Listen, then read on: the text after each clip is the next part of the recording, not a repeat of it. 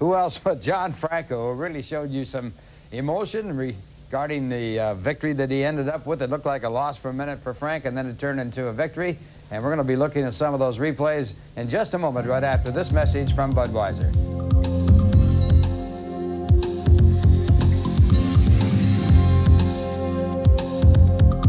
Stadium between the two games of the doubleheader. We are doing Kiner's Korner in the studio, and our guest is John Franco. And John, you hadn't been on the mound for nine days. It's a wonder you knew where it was. yeah, it showed a little bit out there, Ralph. Um, my changeup was quite a bit all over the place, and really didn't feel too comfortable with my fastball. It was moving in and out. Um, really was staying up a lot, and I'm usually a sinker ball pitcher, so uh, it showed, but I got it out of the way.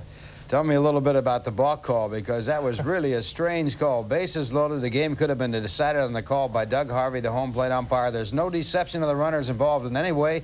Not even many antenna involved in the balk was called. Well, you know, I, I, I did the same thing every time out there, and uh, I, you know, just just a shame that yeah, there's a stop right there. And I mean, I did it every time, and you know, I pitched here twice last year against the Mets, and and twice Doug was the umpire, and he called balks on me twice. So I did everything I could to get it thrown out of that game. I didn't think he didn't want to throw me out of the game. You're, you're a little volatile right here, well, to say I'm the a, least. I'm an huh? emotional person. I don't mind losing, but you know, on a hit or an error or something like that. But when it's got to be decided by a balk, that's a that's a that's a sorry way to lose a ball game. Well, that ball call put the Houston Ball Club up by one run, taking the lead by a score of four to three, and you finally settled down and got out of that inning uh, with no more runs scored. And then with a loss staring you in the face, the Mets came back with a dramatic comeback win. Well, that's you know that's that's a big win for us. We needed that. Uh, guys, you know, I, Kevin also told me just to give us a chance at him in the bottom. You didn't, go, you know, go back and get your composure a little bit and get us out of the inning, and, and we'll get it back for you. And uh, sure enough, they did. Uh, it was a big win. Uh, you know, Tough got a big hit. He had a great game today, and uh, K-Mac just went deep.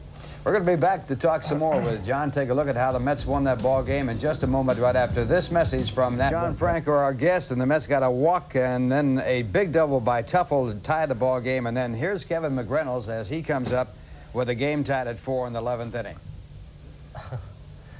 When this ball was hit, John, I didn't think it was going to be I, out of the park. I didn't think so either. Uh, Frankie Viola was kept yelling, go, go, go, and it just kept going. And uh, I about jumped out of my shoes when, when he hit it out of here. Well, here's the way, this is how you, Yeah. you reacted to it all, right there.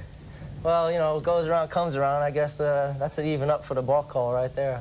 You know? Did you uh, say anything to Harvey? No, I, you know, I, I said my piece, and that was it. Uh, you know, Doug's a good umpire. It was just, uh, I, I just thought he made a bad call at that particular moment. And, uh, you know, second game, if I get in there, it's just, you know, forget all about Starts it. all over Yeah. again, uh, zero zero. Well, we'll be back in a moment with more right after this message from Mitsubishi Motors. Franco and the most emotional game of the year for the New York Mets as they won it by a score of seven to four. And John, you went from a loser to a winner in a hurry, and it's been a great start for you. Yeah, so far, and uh, that's the main thing I wanted to do when I got traded over here and get off to a good start. And uh, you know, I got pretty some pretty good opportunities to get uh, the ball and uh, some save situations. And today, come in, uh, I haven't pitched in nine days, and I needed to pitch. And uh, Davey threw me out there today, and and thank God I got a win out of it. Well, you might be right back in there in that second ball game. well, that's fine by me. Uh, you know, I'll just go in and ice a little bit right now, and uh, hopefully uh, they won't need me the second game. Ronnie will go nine, but if they do, I'll, I'll be out there. John Franco, thank you very much for coming on. Okay, Ralph. thanks. Congratulations on a great win, and we'll return in just a moment right after this message from Bud Light.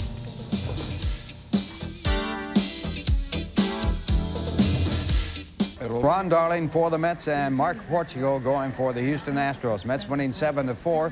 Kiner's Korner has been brought to you by Bud Light. Everything else is just a light. Man who put the Mets over the top, and that is Kevin McReynolds. We'll return to talk with him right after this message from Bud Light. Both games won by Kevin McReynolds on home runs. And Kevin, according to our resident historian, Tim McCarver, this is the anniversary of the day that Arkansas succeeded from the Union. And uh, you're from Arkansas, Little Rock, as a matter of fact. Did you know that? I didn't know it until you just said it. sure didn't. Well, you succeeded, not succeeded, but succeeded, and uh, you really came through at the right time. In the 11th inning, let's take a look on the videotape replay as Kevin McReynolds comes up here with two men on. Johnson had been walked intentionally before, and that's Dave Smith. Well, it was a changeup. Uh, he was behind the count, and I hit the ball pretty good, and I didn't know if it was going out the way the left fielder was chasing it, but I got out of there and made a winner of a of John Franco after a rough, I think it was 11th inning. 11th inning is right, and that was a three-run home run, your third home run of the year. And then in the eighth inning, the final at bat for the Mets, as it turned out, you came up against Dan Schatzeder, and uh, this one coming off a 3-1 fastball. It was a fastball right out of the heart of the plate, and I hit that ball pretty good. I knew where it was going when I hit it. No doubt about that one. Not at all. Well, Kevin, this has been probably the most exciting day the Mets have had this year, and probably as exciting as anything they had last year, and you were a part of it, a doubleheader win.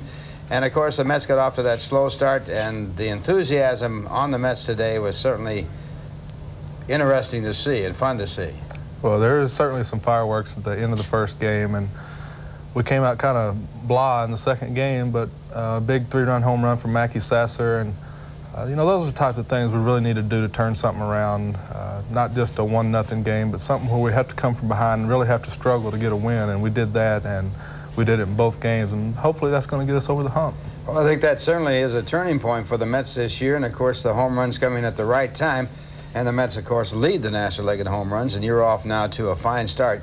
You have hit in 14 of your last 15 games and hitting extremely well over those 15 games. Well, the last three or four days, I felt like I'm starting to approach the pitchers a lot better. I'm seeing the ball better. I feel like I'm getting better rips, and consequently, I start hitting the ball harder. Even some outs have been hit hard. And it's one of those things where I haven't got off to a good start, but now I feel like things are starting to come into place, and hopefully I can be a force to be reckoned with. Well, you certainly were a force to be reckoned with here today, and, and congratulations on a great doubleheader, and also thank you for coming on. All right, my pleasure, Ralph. Kevin McReynolds, and we return right after this message from NatWest Bank.